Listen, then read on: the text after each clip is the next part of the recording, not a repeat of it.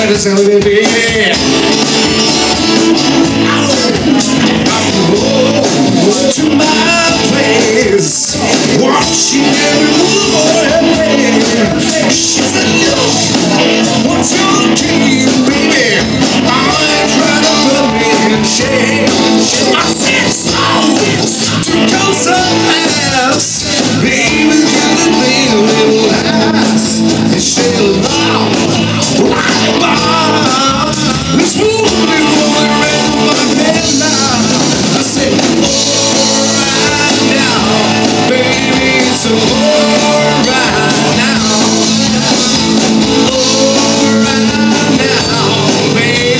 So